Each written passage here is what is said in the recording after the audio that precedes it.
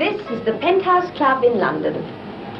To this haven of soft lights, sweet music, and pretty girls, all of a cleavage, comes the male of the species to restore and have soothed his wounded psyche.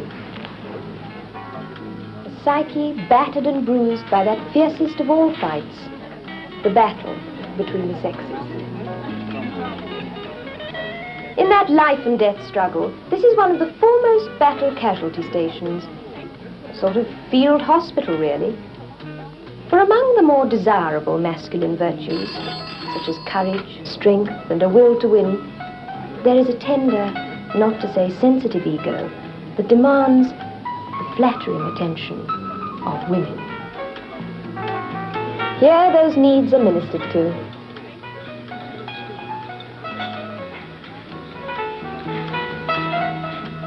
That tender ego is serviced and fitted to go forth into the fight with all the magnificence of the predatory hunter that was his ancestor. Welcome to the penthouse.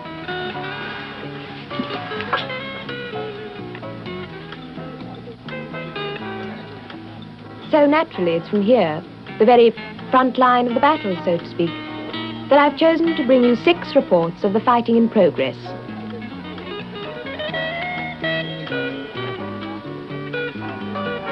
Six tales that will illustrate my thesis that man is the most dangerous animal of them all. Next to woman. Man is such a bad liar, he often uses the telephone to mask his lies. My first story concerns Dennis. Dennis is about to lie to his wife. Poor Dennis. Hello. Darling, Mm, oh, hello. you, you sound as if you've been asleep. Mm. What time is it? It's, um, it's nearly three o'clock. Look, I- I'm sorry to, um, to interrupt your nap, but, uh, something's come up. Oh, you're going to be late again tonight. Well, uh, more than that, I'm afraid. It's, uh, it's this Edinburgh business. I, I'll have to go up over the weekend. What, the entire weekend? I'm afraid so. It's this damn demarcation dispute. Well, what we'll need to do is, um, is survey the whole plant. Um, it, it's impossible to do it in normal working hours. We have the, the trade union round our necks. There's the bound to smell a rat. Oh, poor darling. As if you hadn't got your hands full enough as it is. Uh, quite. Um, but anyway, there, there it is, my dear, and um, there's very little I can do about it. Well, I suppose we'll survive.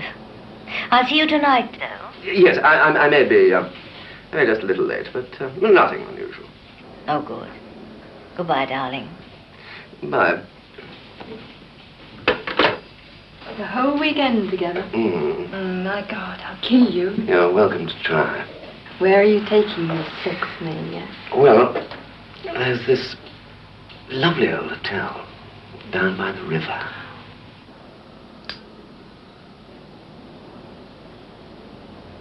That was my husband. Poor darling has to spend the weekend in Edinburgh. Are you sure about that? Well, he never lies to me. You mean we might spend the whole weekend together? Would you like that? You know how much. Well, then it's arranged. Here? Oh, no, no, not here. People might notice. There's a lovely little hotel I know.